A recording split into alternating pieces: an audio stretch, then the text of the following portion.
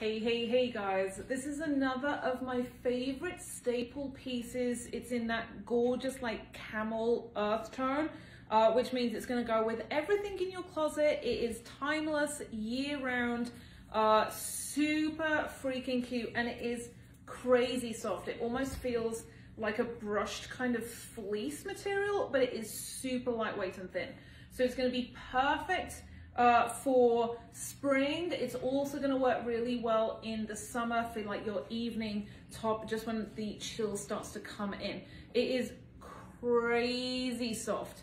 Uh, it's got like a little bit of a ribbed detail on the bottom hem, on the cuffs, and just a little detail on the shoulders, which I think is really cute and just makes it uh, completely different to normal tops that we have.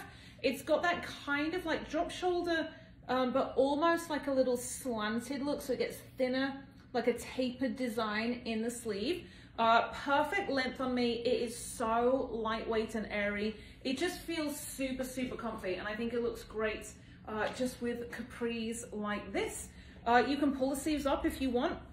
Uh, you can tuck it and it completely changes the look again. Just taking that hem away makes it look um, a little bit more streamlined uh, without the extra color, or of course you can just do like a very simple tuck into your jeans. This one comes in a small, medium and large. I'm wearing the small and you can see like the edge of my body to the side seam and then it's got tons of stretching as well. So it's nice and comfy. There's nothing to worry about in terms of the size and fit in the sleeves or under the arms at all. So the small in this one is gonna fit anywhere from zero through uh, 8, 10.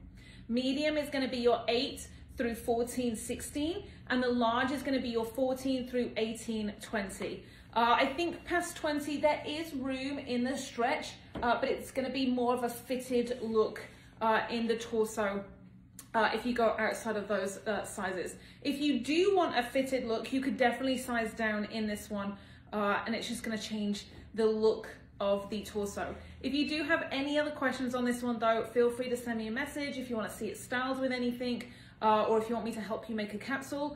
Just send me a message, we'd be more than happy to help. Otherwise, go grab this piece in the app or on the website.